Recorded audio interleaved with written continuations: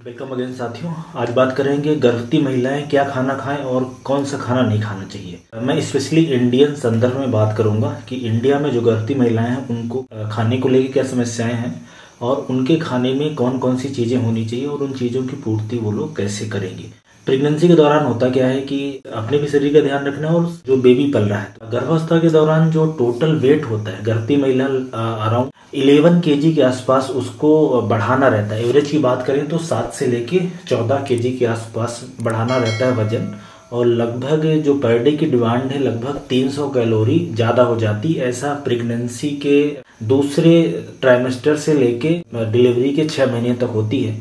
उसमें जो important nutrients है, उसमें एक तो है folic acid calcium iron protein ये चार चीज़ों का बड़ा इंपॉर्टेंट रोल होता है। जो फोलिक एसिड होता है, वो शुरुआती जो गर्भावस्था है, उसके दौरान बहुत इंपॉर्टेंट होता है क्योंकि शुरुआती समय में जो बेबी है, उसका ब्रेन बनता है स्पाइनल कार्ड बनती है न्यूरल ट्यूब जिसको हम लोग बोलते हैं। इसलिए folic acid vitamin B twelve इसका बड़ा इंपॉर्टेंट रोल होता है। और जैसे दूसरा ट्राइमेस्टर या तीन महीने के बाद फिर जब बेबी का वज़न बढ़ने लगता है तो उसमें आरबीसी बनना, मांसपेशियाँ बनना बोन बनना, इसलिए आयरन और कैल्शियम की ज़रूरत होती है। इसलिए ये जो न्यूट्रिशन है, जो गर्भवती महिलाएँ हैं, उनको प्रॉपर मिलना चाहिए। पर समस्या क्या है कि इंडिया में जानकारी ना होने के कारण और काफ़ी सारे लोगों में जो गाँव की महिलाएँ हैं, उनमें उपलब्ध भी ना होने के कारण ये सारी चीज़ें नहीं मिल पाती। इंडिया की बात करूँ तो लगभग अगर हम लोग जैसे जाँच कराते हैं, जो गर्भवती महिलाएँ हमारे पास आती हैं जाँच करवाने के लिए तो लगभग सत्तर परसेंट में खून की कमी होती है और खून की कमी होने से उनको भी समस्या रहती है और जो बच्चा है, उसका भी वज़न नहीं बढ़ेगा और दूसरी भी समस्या हो सकती है। और जो बेबी होता है, जब बर्थ होता है तो उस समय लगभग अपने देश में ऐसा देखा गया है कि लगभग 50 परसेंट ज़्यादा बच्चे लो बर्थ वेट बेबी हम लोग बोलते हैं मतलब उनका वज़न जो ढाई किलो है, उससे कम रहता है। तो ये बड़ी इंपॉर्टेंट चीज़ है। इसलिए जैसे ही प्रेगनेंसी डायग्नोस होती है, गर्भावस्था आपको पता चले, आप चाहे शहर में हो, गाँव में हो, कस्बे में हो, तुरंत डॉक्टर के पास जाना है और कुछ दवाइयाँ, जैसा कि फोलिक एसिड मैंने बोला फोलिक एसिड और विटामिन बीटोन आपको तुरंत स्टार्ट करना चाहिए। ये जो फोलिक एसिड है, ये हमारे खाने में भी उपलब्ध है, लेकिन आजकल का जो खाना है, उसमें हो सकता है कि वो बहुत अच्छे से ना मिल पाए और दूसरा कि शुरुआत के समय में ज़्यादातर महिलाओं को खाना खाने में दिक्कत आती है, या तो उनको उल्टी आती है, मुँह का स्वाद कड़वा रहता है, और बहुत सारे लोगों को इस तरह का खाना भी नहीं पसंद होता, जिसमें फोलिक एसिड और विटामिन बी ट्वेल्व होता है, क्योंकि खान पान सबका चेंज हुआ रहता है।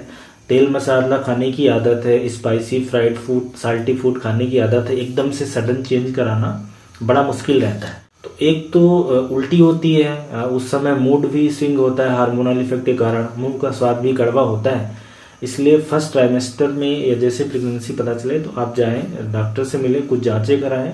अब आते हैं खाने की बात कि क्या वैसे खाना चाहिए? मतलब जो शुरुआत के तीन महीने होते हैं, उसमें क्या चीज़ें खाने की हो? या पूरी गर्भावस्था के दौरान ही क्या चीज़ें हों खाने की? तो जैसा कि मैंने बोला कि फोलिक एसिड आयरन कैल्शियम और प्रोटीन ये चार इंपॉर्टेंट चीज़ें हैं और बाकी चीज़ें भी हमें चाहिए मिनरल्स विटामिन और भी होने चाहिए। तो फ़र्स्ट ट्राइमेस्टर में बात करें तो जैसे फल हैं वेजिटेबल्स हैं, हमारे अनाज है, दाल है, इसके अलावा गेहूँ है, जौ, बाजरा, रागी या दालें हैं। इस तरह की चीज़ें खाने से फोलिक एसिड और बाकी न्यूट्रिशन मिलेगा और साथ में पानी पीना, एक बड़ी इंपॉर्टेंट चीज़ है पानी पीना। जैसे ही प्रेगनेंसी डायग्नोज होती है तो आपको पानी कम से कम तीन से चार लीटर पानी पीना है। हालाँकि खाली पेट पानी पीने से उल्टी बहुत होती है। तो नींबू पानी पिए कोकोनट वाटर ले लें, छाछ ले लें किसी भी तरीके से शरीर में पानी की कमी ना होने पाए, क्योंकि पानी की कमी होगी तो जो बेबी पल रहा है उसके चारों तरफ़ जो पानी होता है, गर्भाशय के अंदर उसमें भी कमी हो जाती है। इसलिए आजकल ये भी काफ़ी देखा गया है कि जब बीच में महिलाएँ आती जैसे छह महीने या सात महीने या कोई नौवे महीने में आती हैं तो उनमें पानी की कमी देखी जाती है। पानी की कमी होने से बच्चे का डेवलपमेंट रुकता है और दूसरी भी समस्याएँ हो सकती हैं। ऑपरेशन भी कराना पड़ता है ज़्यादातर महिलाओं को। इंडिया की मैं अगर स्पेशली बात करूँ कि हम अपने देश में क्या सलाह दे सकते हैं गर्भवती महिलाओं को तो आपको जैसे ही प्रेगनेंसी डायग्नोज हो, वैसे ही सबसे पहले तो आप घर का खाना खाना स्टार्ट कर दें और मार्केट का जो खाना होता है, जिसमें चिप्स कुरकुरे फास्ट फ़ूड है फ्राई फ़ूड आइटम है, मिठाइयाँ हैं कोल्ड ड्रिंक्स है स्पाइसी फ़ूड है और तला भुना नॉन वेज ये सारी चीज़ें आपको बंद करना पड़ेगा। क्योंकि अगर आप ये चीज़ें खा के पेट भरेंगे तो जो न्यूट्रिशन वाली चीज़ें हैं, वो आपके शरीर में नहीं आ पाएँगी। क्योंकि खाने की तो लिमिटेशन है और हमें न्यूट्रिशन वाला खाना खाना ही पड़ेगा, क्योंकि जो बच्चा है, उसको तो जिन जिन चीज़ों से उसका शरीर बनता है जिन जिन न्यूट्रिशनल फैक्टर से बनता है, वो चीज़ें तो हमें उसको देना ही पड़ेगा। जैसे आयरन है कैल्शियम है, ये सारी चीज़ें और विटामिन मिनरल्स हैं, ये सारी चीज़ें होनी ही चाहिए। और एक जो फ़र्स्ट ट्राइमेस्टर या शुरुआत के तीन महीने होते हैं उसमें एक बड़ी समस्या आती है कि महिलाओं को उल्टी बहुत आती है। मॉर्निंग सिकनेस मतलब सुबह उठते ही उल्टी का आना या कुछ खा पी लिया तो उल्टी हो जाना। तो उसमें आप आ, कुछ चीज़ें ऐसा करें कि एक तो जो खाना है अभी उसको आप कम कम खाने लगे। जैसे नॉर्मली दो या तीन बार खाया जाता है अपने देश में तो आप पाँच से छः बार खाएँ लेकिन थोड़ा थोड़ा खाएँ तो उससे एक तो उल्टी की संभावना कम होगी एसिड वगैरह कम बनेगा। दूसरा, खाली पेट आप पानी ना पिए, खाली पेट पानी पीने से भी उल्टी आती है। और जो खाना है, आपको कुछ ड्राई मतलब जैसे कि टोस्ट है, बिस्किट है, रोस्टेड चना है, मुरमुरे है, इस तरह की चीज़ें हैं, मूंगफली है, इस तरह की चीज़ें आप अगर लेंगे तो जो उल्टी है, सुबह के समय वो नहीं होगी। एक जो टोस्ट होता है, अगर टोस्ट को आप थोड़ा सा तवे पे जला लें दोनों तरफ़ तो उससे बड़ा अच्छा इफ़ेक्ट आता है, चारकोल एक तरीके से बन जाता है। तो फिर ये जो उल्टी की समस्या काफ़ी हद तक कंट्रोल हो जाती है। और उल्टी से बचने का एक तरीका ये भी है कि आप घर की सिंपल चीज़ें खाएँ, खिचड़ी है, चावल है, दही इस तरीके की चीज़ें खाएँ। ज़्यादा खाने से, ज़्यादा तेल मसाला खाने से, ज़्यादा फ्राई आइटम खाने से, बाहर का खाने से उल्टी आपको ज़्यादा आएगी। तो ये भी कुछ इम्पोर्टेंट बातें ध्यान रखनी है। एक चीज़ आप ये जाने कि जो शुरुआत का तीन महीना होता है, उसमें ज़्यादा खाने की ज़रूरत नहीं होती, बल्कि अच्छा खाने की ज़रूरत होती है। न्यूट्रिशनल चीज़ें होनी चाहिए। क्वांटिटी ज़्यादा हो, वो इम्पोर्टेंट नहीं है। क्योंकि उस समय तक बेबी को तो खैर ज़रूरत नहीं रहती है, क्योंकि वो छोटा अभी रहता है साइज़ में। लेकिन जो उसका आर्गन डेवलप होता है, जैसे कि ब्रेन या स्पाइनल कार्ड हार्ट वगैरह, उसके लिए ये इम्पोर्टेंट न्यूट्रिएंट्स चाहिए, जो आप, इसलिए आपको क्वालिटी वाला खाना खाना है शुरुआत के तीन महीने। और ऐसी गर्भवती महिलाएँ जो जल्दी गर्भवती बन गई हैं दोबारा से या तिवारा से। हो सकता है उनके शरीर में न्यूट्रिशन की कमी हो तो जैसे ही प्रेगनेंसी डायग्नोज होगी, तभी से ही फिर आयरन कैल्शियम प्रोटीन ये सारी चीज़ें चलने लगेगी।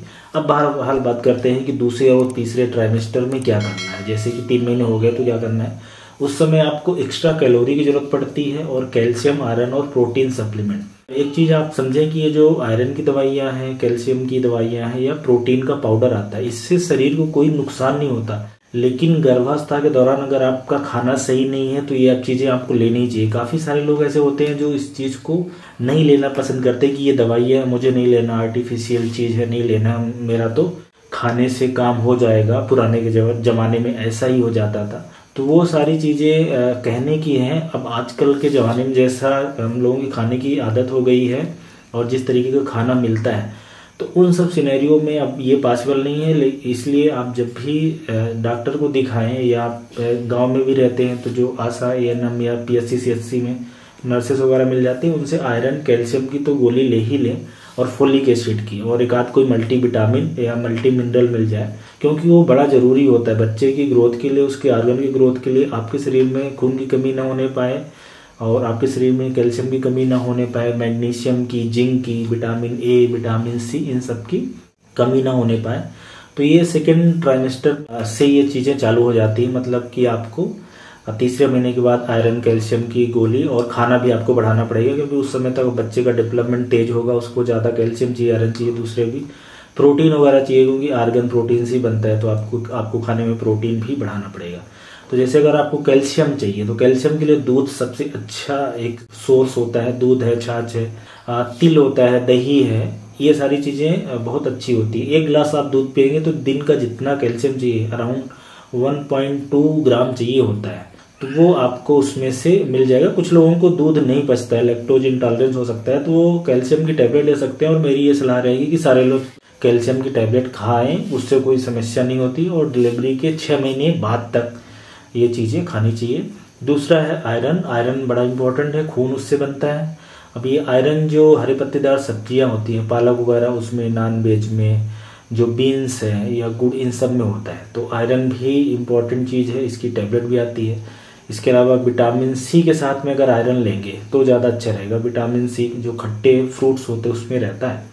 अब जो तीसरी इंपॉर्टेंट चीज़ है प्रोटीन प्रोटीन से हमारे शरीर का लगभग सारा स्ट्रक्चर बनता है। तो बच्चे का भी जो स्ट्रक्चर तभी बनेगा जब शरीर में प्रोटीन हो। तो जो नॉन वेज लोग खाते हैं, उनके लिए तो ठीक है प्रोटीन अच्छे से उपलब्ध हो जाता है। हालाँकि गर्भावस्था के दौरान जो नॉन वेज होता है, जो इंडिया में तरीका होता है, तला भुना स्पाइसी ग्रेवी वाला, उस तरीके से नहीं खाना है, क्योंकि उसमें बहुत फैट रहता है और भी दूसरी मसाले वगैरह रहते हैं जो कि बहुत अच्छी चीज़ शरीर के लिए नहीं है। प्रोटीन के लिए दूध अच्छा है, सोयाबीन से बनी चीज़ें अच्छी हैं, बढ़िया वगैरह, पनीर है, दालें हैं, या प्रोटीन पाउडर भी आप पी लें तो कोई दिक्कत नहीं। प्रोटीन पाउडर भी पीना रिलेटिवली ठीक है मतलब वो सस्ते में काम हो जाएगा, क्योंकि जो प्रोटीन सोर्स है बेज वाले लोगों के लिए उपलब्ध करना मुश्किल है और महँगा भी है। तो ये कुछ इंपॉर्टेंट चीज़ें हैं। पर ऐसे लोग जो अंडा खाते हैं या चिकन या मटन खाते हैं, वो जो रोस्टेड हो, उस तरीके की चीज़ें खाएँ, उसमें ज़्यादा ग्रेवी ना खाएँ। आपको अगर लगता है कि हमारे पास ये जो खाने मैंने बताया है आयरन के लिए कैल्शियम के लिए प्रोटीन के लिए, वो चीज़ें अगर नहीं हो पा रही तो आप तुरंत ही टैबलेट वगैरह तो आप बिल्कुल स्टार्ट करना ही चाहिए। और इसके साथ में थोड़ी सी हल्की एक्सरसाइज करना है। पानी मैंने बोला कि आपको तीन से चार लीटर रोज का पीना है, अच्छी नींद लेना है, कोई टेंशन नहीं है। आठ से दस घंटे थोड़ा बहुत एक्सरसाइज करें। गर्भावस्था के दौरान बेड रेस्ट की ज़रूरत उन्हीं लोगों को होती है जिनमें स्पेशली बोला जाए कि आपको बेड रेस्ट लेना है। बाकी महिलाओं को बेड रेस्ट नहीं लेना है हल्का फुल्का घर का काम करते रहना है, थोड़ा बहुत घूमते रहना है।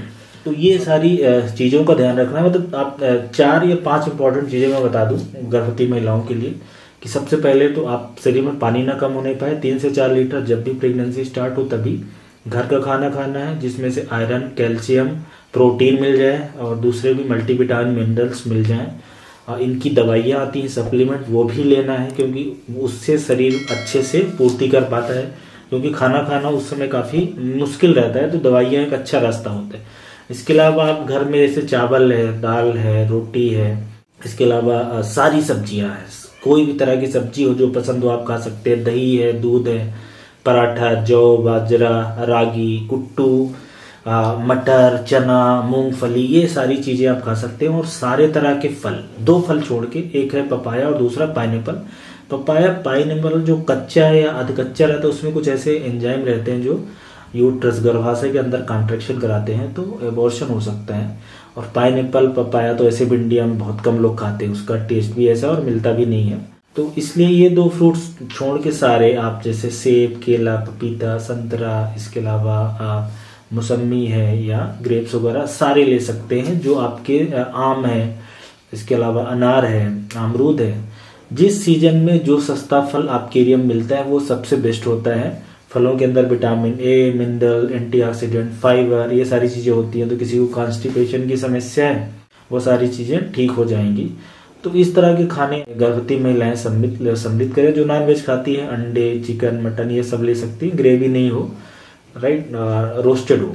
अब कौन सी चीज़ें नहीं खानी? तो गर्भावस्था के दौरान कुछ इंपॉर्टेंट चीज़ आप ये जाने की को फ्रेश खाना है, एक तो रखा हुआ नहीं खाना है, और दूसरा कोई चीज़ रा नहीं खाना है, कच्चा नहीं खाना है। जैसे हम लोग कच्ची सलाद वगैरह खाते हैं, कुछ सब्ज़ियाँ जैसे कि पत्ता गोभी है या इसके अलावा कच्ची चीज़ें कुछ लोग फूल गोभी जो होता है, वो भी खा लेते हैं, सलाद वगैरह। ये सब नहीं खाना है क्योंकि उनके अंदर बैक्टीरिया रहते हैं, दो तीन तरह के। इकोलाई है लिस्टीरिया है साल्मोनेला है, जो कि नुकसान कर सकता है। और ऐसे ही जो समुद्र की मछलियाँ हैं या सी फ़ूड दूसरे भी हैं क्रैब वगैरह लोबस्टर ये सब समुद्री जो जो समुद्री पानी में चीज़ें रहती हैं, उनमें लेड पॉइजनिंग या mercury poisoning heavy metal poisoning हो सकती है तो उनसे भी वो सारी चीज़ें नहीं लेना है। इसके अलावा मिठाइयाँ हैं, मिठाइयाँ भी नुकसान करती हैं, क्योंकि मिठाइयों से क्या होगा कि प्रेगनेंसी के दौरान ऐसे हार्मोनल चेंज रहते हैं कि ऑलरेडी शरीर के अंदर शुगर बढ़ा हुआ रहता है। तो डायबिटीज़ का रिस्क वैसे बढ़ा रहता है। आप शुगर खाओगे तो उससे भी और रिस्क बढ़ जाएगा। डायबिटीज़ संभावना बढ़ेगी और शुगर से कोई न्यूट्रिशन तो मिलता नहीं। और भी चीज़ें जैसे मैंने शुरू में बताई थी कि फास्ट फ़ूड है फ्राइड आइटम है Limca Mirinda, Coke Pepsi, Kurkure Chinese fast food ये सारी चीज़ें नहीं लेना। अब थोड़ी सी बात करते हैं नट्स और सीड की। तो बादाम है इसके अलावा वालनट, ये दो बड़े इंपॉर्टेंट है। इसमें अच्छे फैट होते हैं ओमेगा थ्री फैटी एसिड किशमिश, काजू, पिस्ता पिस्ता, ये सारी चीज़ें भी आप खा सकते हैं थोड़ा बहुत, कोई समस्या की बात नहीं है। मूंगफली है, चना ये सारी चीज़ें भी ठीक होती हैं। तो ये इंपॉर्टेंट चीज़ है गर्भवती महिलाओं के लिए कि हमें क्या चीज़ें नहीं खानी है और क्या खानी है। आप ये समझें कि जैसा हम लोग मार्केट की चीज़ें जो अच्छी हमें टेस्टी लगती है, ज़्यादा नमक रहता है, ज़्यादा शक्कर रहता है, वो बंद करना है। और घर की बनी हुई चीज़ें जो आपको नहीं पसंद है, वो खाना है, क्योंकि वो आप पे डिपेंड नहीं करता। प्रेगनेंसी के दौरान जो खाना होता है, वो माँ पे नहीं है, बल्कि बच्चे पे डिपेंड करता है, क्योंकि उसका पूरा शरीर बनना है। और पूरा शरीर बनने के लिए सारे न्यूट्रिशन चाहिए। मतलब कि प्रोटीन से लेके कैल्शियम, आयरन, मैग्नीशियम, जिंक से लेके vitamin A, C, D E हाँ विटामिन डी बताना रह गया। प्रेगनेंसी के दौरान विटामिन डी का ये रोल है कि एक तो इम्यूनिटी वगैरह में उसका रोल होता है साथ में जो हड्डियाँ मांसपेशियाँ इसलिए मज़बूत होती हैं कैल्शियम के ऑब्जॉर्प्शन में मदद करता है। तो विटामिन डी के लिए आपको धूप में बैठना पड़ेगा। आ, इंडिया में लोग धूप वगैरह में बैठते नहीं आधे घंटे कम से कम बैठना चाहिए इसलिए आपको टैबलेट लेनी पड़ेगी विटामिन डी की। कैल्शियम की टैबलेट के साथ में विटामिन डी रहता है आप उसकी जाँच करा लें। और विटामिन डी के दूसरे जो सोर्स होते हैं वो कोई खास नहीं होते मतलब जो चीज़ है, पनीर है, मिल्क वगैरह, इन सब में होता है, लेकिन बिल्कुल ना के बराबर रहता है। तो विटामिन डी एक चीज़ छूट गई थी, वो भी आप जोड़ लें। तो हमारे देश में जो गर्भवती महिलाएँ हैं, वो जैसे ही प्रेगनेंसी स्टार्ट हो जाए, खाने पे ज़रूर ध्यान रखें। खाने पे आप ध्यान दोगे तो खून आपका कम नहीं होगा और बच्चे का डेवलपमेंट पूरा सही से होगा। तो डिलीवरी के समय जो परेशानी आती है कि शरीर में पानी कम हो जाना, बच्चे का ग्रोथ रुक गई है अपने शरीर में कम ब्लड है तो खून चढ़ेगा सीजेरियन डिलीवरी करानी पड़ेगी। तो ये सारी समस्याएँ से आप बच पाएँगे। तो बड़ा इंपॉर्टेंट विषय है। तो जो भी गर्भवती महिलाएँ उनके घर के परिवार के सदस्य ये वीडियो देख रहे होंगे तो उनको कुछ हेल्प हो पाएगी, ऐसी उम्मीद है। Thank you